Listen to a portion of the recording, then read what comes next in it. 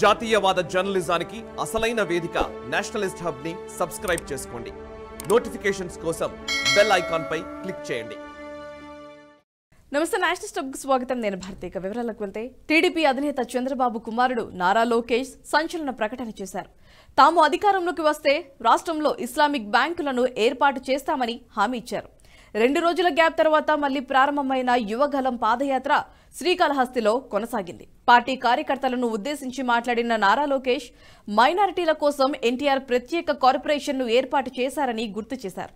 తమ పార్టీ అధికారంలో ఉన్నప్పుడు మైనారిటీల కోసం ఎన్నో పథకాలను తీసుకువచ్చిందని కానీ జగన్ అధికారంలోకి వచ్చాక వాటిని రద్దు చేశారని లోకేష్ ఆరోపించారు. టీడీపీ మళ్ళీ అధికారంలోకి వచ్చాక వాటిని పునరుద్ధరిస్తామని హామీ ఇచ్చారు. ఇందులో భాగంగానే కొత్తగా ఇస్లామిక్ బ్యాంకులను కూడా ఏర్పాటు చేస్తామని లోకేష్ ప్రకటించారు. దీనిపై తీవ్ర విమర్శలు వెల్లువెత్తుతున్నాయి. లోకేష్ హామీపై బీజేపీ తీవ్రంగా మండిపడింది.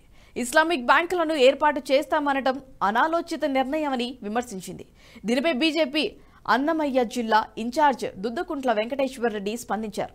ఇస్లామిక్ బ్యాంకు కంటే షరియా చట్టం అమలు చేస్తామని హామీ ఇస్తే బాగుండేందని సెటైర్లు వేశారు. ఇస్లామిక్ బ్యాంకుల దగ్గరే ఆగినందుకు సంతోషమని చంద్రబాబును గెలిపిస్తే షరియా చట్టం అమలు చేస్తామని చెప్పనందుకు సంతోషపడుతున్నానని ఎద్దేవా చేశారు. ఇస్లామిక్ బ్యాంకులు దేశ ఆర్థిక వ్యవస్థకు ప్రమాదమన్నారు. రిజర్వ్ బ్యాంక్ కూడా ఈ ప్రతిపాదనను తిరస్కరించిందన్న విషయాన్ని గుర్తు చేశారు. బీజేపీ దేశాన్ని కలపడానికి ప్రయత్నిస్తుంటే ప్రాంతీయ పార్టీలు మాత్రం ఓటు బ్యాంకు కోసం దేశాన్ని మతపరంగా విడదీసేందుకు ప్రయత్నిస్తున్నాయని ఆరోపించారు. కేవలం ఓటు బ్యాంకు కోసం ఇటువంటి హామీలు ఇవ్వడం విడ్డూరంగా ఉందని విమర్శించారు. ఇస్లామిక్ బ్యాంక్ హామీ హిందువుల మనోభావాలను దెబ్బతీసేలా ఉందని దుద్దుకుంట వెంకటేశ్వర్ రెడ్డి అన్నారు.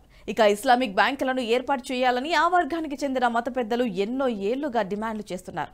ఈ బ్యాంకులను ఏర్పాటు చేయడం వల్ల ముస్లింలకు భారీగా ప్రయోజనాలు చేకూరుతాయని మభ్యపెడుతున్నారు. అయితే వీటి వల్ల ముస్లింలకు ప్రత్యేకంగా కలిగే ప్రయోజనాలేవీ ఉండవన్నది వాస్తవం.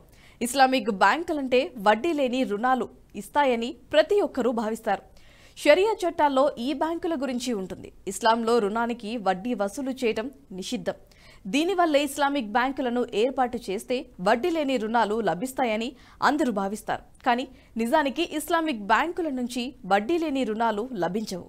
ఈ బ్యాంకుల నియమాల ప్రకారం రుణగ్రస్తునుడికి కావాల్సిన వస్తువులను బ్యాంకులే కొని ఇస్తాయి. వీటిని తక్కువ ధరకు కొని రుణగ్రస్తునికి ఎక్కువ ధరకు అమ్ముతాయి. ఈ విధంగా వడ్డీ కోసం వసూలు చేయాల్సిన డబ్బులను వినియోగదారుడి నుంచి వసూలు చేస్తాయి. అయితే ఈ విషయాన్ని ఎవరూ వివరించకపోవడంతో ఇస్లామిక్ బ్యాంకులను ఏర్పాటు చేస్తే వడ్డీ లేని రుణాలు లభిస్తాయని చాలా మంది భావిస్తూ ఉంటారు. ఈ వీడియో కనుక మీకు నచ్చినట్లయితే లైక్ చేయండి పది మందికి షేర్ చేయండి. అలాగే కమెంట్ల రూపంలో మీ అభిప్రాయాలను మాతో పంచుకోండి. నేషనల్ స్టెప్ గ్రూప్ ఆఫ్ ఛానల్స్ను సబ్స్క్రైబ్ చేసుకొని తెలుగునాట జాతీయవాద జర్నలిజాన్ని ప్రోత్సహించండి. అలాగే ఈ వీడియో కింద ఉన్న బెల్ ఐకాన్పై క్లిక్ చేయడం మర్చిపోద్దు